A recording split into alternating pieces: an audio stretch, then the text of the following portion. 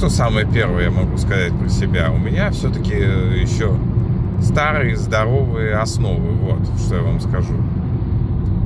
Я всю свою юность провел за книгами, за бумажными, нормальными бумажными книгами, то есть которые тебе ни, никаких хэштегов, подсказок и рекламы не выкидывают. Просто вот те самые книги, которые читали наши предки.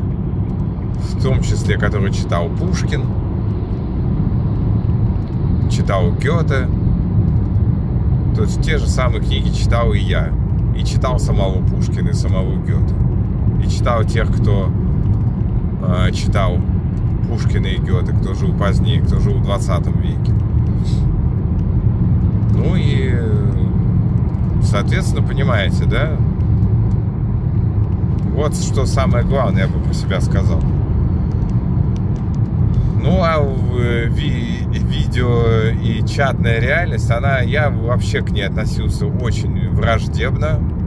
Я вообще отрицал и YouTube, и вообще в целом соцсети, YouTube и так далее. Сейчас я в силу того, что мне пришлось э, несколько лет, ну, два года я занимался на скрипке просто круглосуточно, не выходя из комнаты.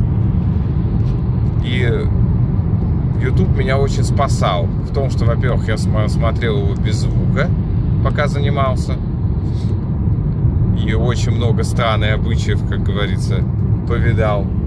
Э, просто, ну, пока я играю, пока я занимаюсь, правильно? Ну, слушайте, поймите, вот я играю на скрипке, я...